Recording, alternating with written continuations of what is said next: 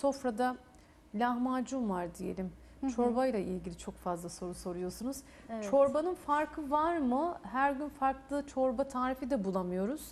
O halde ne yaparsak diyor e, izleyicilerimiz ama çorbanın özellikle şu olması diye bir şeyi var mı diye soralım Eğer önemi. ki kilo e, verme dönemindeyseniz çok fazla unlu ve kremalı çorbaları tercih etmiyoruz. Yağlı çorbaları özellikle.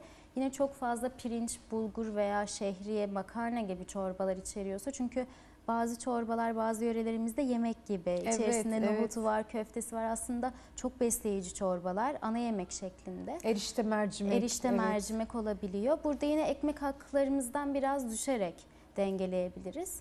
Fakat çok fazla unlu kremalı olmadığı sürece hem mideye de rahatsız etmez hem de gerçekten çok faydalı bir öğün ve çok da zengin aslında bizim çorba kültürümüz. Tarhana örneğin en kesinlikle. sağlıklısı aslında. İşte bir grupta içemiyor onu Büşra'cığım. Diyor ki Evet. damak tadıma uymuyor, ağır geliyor. Bir grupta diyor ki çok seviyorum, olmazsa olmaz. Ama içinde besin değeri ne kadar Kesinlikle yüksek çok değil mi? yüksek kesinlikle. Yani sevdiğimiz bir çorbayı tüketebiliriz yeter ki çok fazla krema ve un içermesin bu dönemde.